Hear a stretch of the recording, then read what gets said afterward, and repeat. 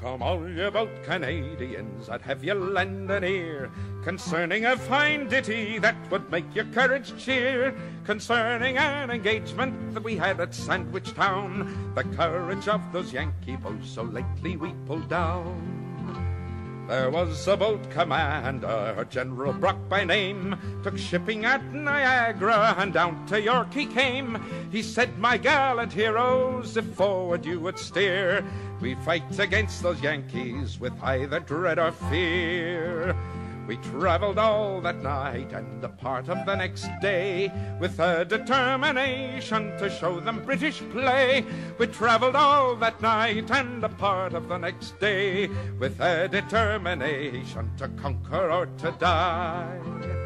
Our commander sent a flag to them, and unto them did say, Deliver up your garrison, or we'll fire on you this day. But they would not surrender, and chose to stand their ground. We opened up our great guns and gave them fire around. Their commander sent a flag to us for quarter he did call.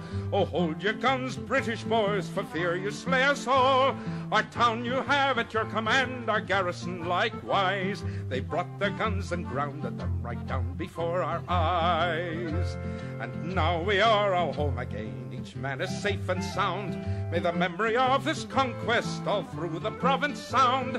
Success unto our volunteers who did their rights maintain and to our bold commander, General Brock by name.